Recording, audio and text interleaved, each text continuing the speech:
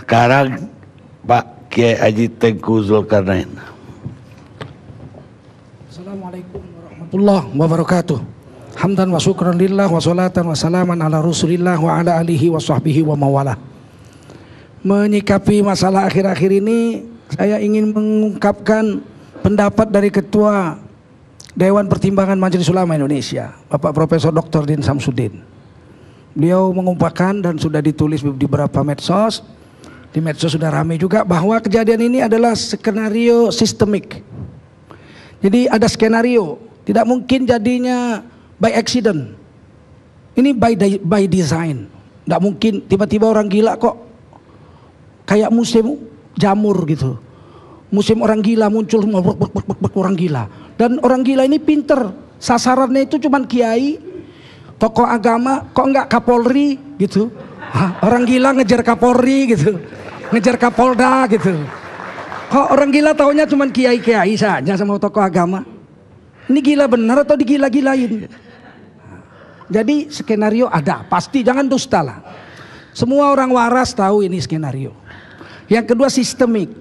Dikatakan sistemik menyebar luas. Menyebar luas.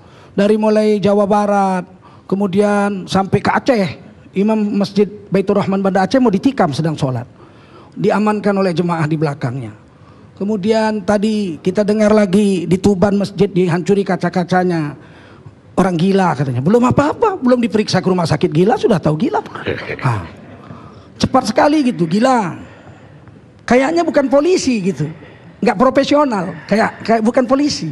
Kalau polisi kan ada disidik dulu, diperiksa dulu. Kalau setengah gila atau kayak gila dibawa ke rumah sakit jiwa dulu, diperiksa otaknya. Kok cepet kali begitu tiba-tiba gila.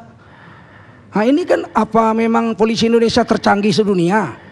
mengalahkan polisi dari Amerika dan lain-lain, ini kan membuat pada tanya besar. Kemudian kita katakan ini sistemik karena yang kena bukan orang Islam aja belakangan ini. Biksu diusir, ada pendeta dibacok, gereja dikejar dan sebagainya. Jadi seperti yang dibilang Profesor Din Samsudin, ini sistemik dan terskenario, skenario sistematik, sistemik. Kemudian yang kedua, tujuannya apa? Tujuan pertama adalah menyebarkan rasa takut. Sehingga ada rasa takut di tengah-tengah golongan kelompok beragama. Takut bicara, takut berkhutbah nanti, nanti dibacok.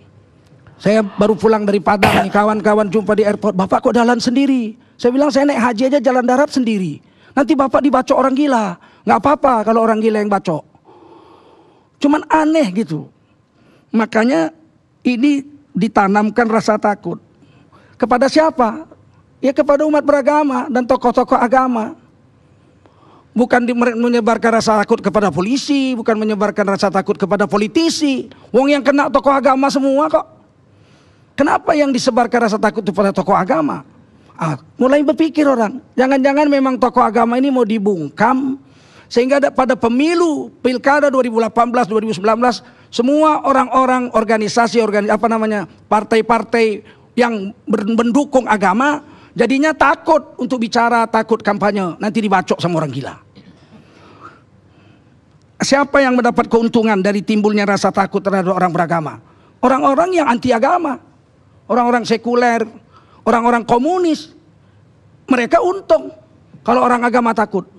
Sehingga pada pilkada nanti partai-partai yang sekuler, orang-orang yang anti agama, yang jijik dengan agama, mereka menangguk keuntungan dengan ini. Yang kedua kata Din Samsudin, Profesor Dr. Din Samsudin, menimbulkan pertentangan antar umat beragama. Kalau menimbulkan pertentangan antar umat beragama Hindu dengan Islam, Islam dengan Kristen, Kristen dengan uh, Buddha dan lain-lain, tentu yang rugi kembali lagi-lagi umat beragama yang rugi. Orang sekuler nggak rugi, orang yang anti agama nggak rugi. Yang rugi tetap orang beragama saja. Yang bukan kelompok orang-orang beragama tidak dirugikan sama sekali. Dan ini saya pikir memang betul-betul ada skenario. Buktinya, Polri sudah membentuk tim khusus SARA. Sehingga orang-orang nanti yang khutbah di masjid, di gereja, kalau menyinggung SARA langsung ditangkap. Sekarang SARA itu sendiri apa? Kalau orang Islam mengatakan, hei kaum muslimin dalam pemilihan pilkada pilihlah orang Islam yang soleh. Ini tidak tidak sara menurut kami orang Islam. Ini ada Qurannya, ada hadisnya, dan dilindungi oleh Undang-Undang Dasar 1945. Negara menjamin tiap-tiap negara untuk memeluk agama garis miring kepercayaan dan menjalankan ajaran agama dan garis miring kepercayaannya masing-masing. Jadi bagaimana ini kalau dibilang begitu? Dan ternyata Bawaslu sudah membentuk juga satu gerakan membuat teks khutbah di gereja-gereja dan di masjid-masjid harus sesuai dengan kehendak Bawaslu. Saya jadi heran, kita yang belajar agama dari belum pandai buang ingus harus khutbah sesuai dengan yang dibuat Bawaslu. Jangan-jangan mereka nyebut nama Tuhan pun salah. Kok mau ngatur-ngatur ulama? Tidak etis begini. Urusan agama biarlah urusan agama. Ada Majelis Ulama Indonesia, ada ormas-ormas Islam. Kok Bawaslu sekarang jadi gatel-gatel ikut ngurus-ngurus agama? Ah, apa apa mereka takut kelompok beragama ini muncul memenangkan pilkada-pilkada? Bawaslu kan harus netral. Kok ngatur-ngatur ini? Oh nanti akan timbul chaos, timbul bunuh-membunuh. Buktinya ini sudah terjadi di Bandung, di di uh, Ciamis, di Tuban, di Aceh. Oleh karena itu ikutilah pendapat kami. Khutbahlah menurut aturan yang kami buat. Jadi ini seperti memang diatur untuk mengarah ke sana. Yang ketiga kata Din Samsudin menciptakan disstabilitas nasional. Yang ujung-ujungnya nanti ini negara jadi ribut, jadi rusuh, bahkan kalau mungkin jadi chaos. Saya tidak berharap ini terjadi, tapi kalau ini terjadi yang untung kan penguasa yang sedang jalan. Dulu Bung Karno tahun 1959 mengeluarkan dekrit presiden 5 Juli. Kemudian membubarkan konstituante. Kemudian beliau berkuasa sendirian. Nggak punya DPR, dia sendiri aja. Nggak ada wakil. Dibubarkan Masumi dan sebagainya. Apakah ini mengarah ke sana? Kita tidak berharap dan tidak menuduh. Bisa saja terjadi. Nah, kemudian saya ingin beri data-data Pak Karni. Menilik ke belakang. Di Sumatera Utara, di Tapanuli Utara, di Porsea tepatnya. Ada Masjid Sabilillah Dua kali dibakar, sekali dibakar nggak berhasil, cuman rusak sebagian. Diperbaiki, beberapa hari, beberapa bulan kemudian dibakar lagi. Kemudian kali ketiga dibakar ludes, habis betul rata dengan tanah. Forum Umat Islam Sumatera Utara mengumpulkan uang, saya terlibat dalam hal ini, tahu benar. Dibangunlah masjid itu dengan sempurna lagi, dan polisi mengatakan akan kita usut. Sudah berlalu, berlalu berapa tahun? Tiga, empat, lima tahun. Nggak ada yang diusut. Nggak ada sama sekali gerakan polisi apa karena yang dibakar masjid? Tidak ada jenderal Kapolri datang atau jenderal Panglima datang. Beda dengan gereja yang dibakar ketika di Subulu Salam. Di Aceh Selatan terjadi pembakaran gereja. Karena gereja itu berdiri tanpa izin.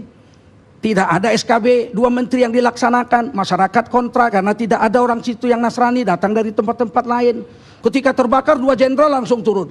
Kapolri dengan jenderal Panglima TNI turun dua jenderal menyelesaikan masalah itu. Tapi nggak selesai. Tidak disebut kenapa gereja itu dibakar. Siapa pelaku pembakarannya. Apa alasan sehingga terjadi konflik. Ternyata tidak dituntaskan.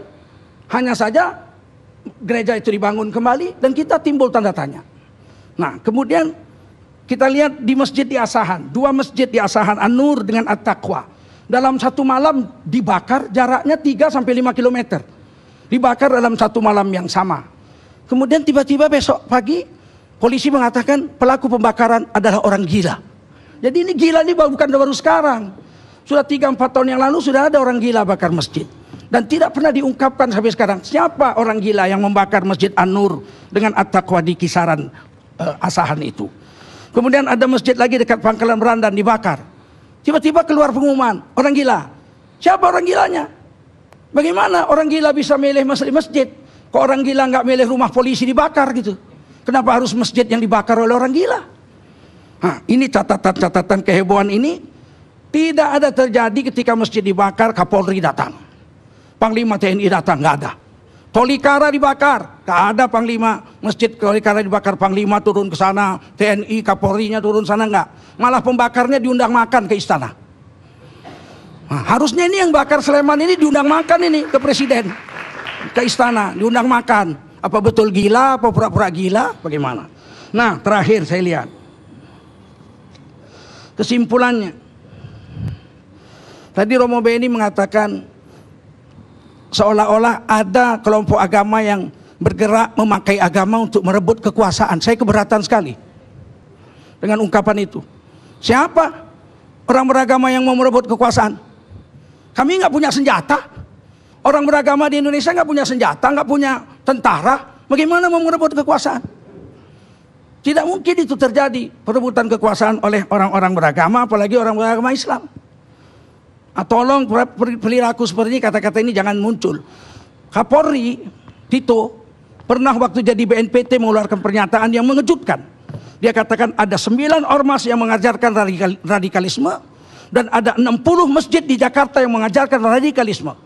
Ketika kami bertemu bertatap muka di MUI, kami dan kawan-kawan bertanya.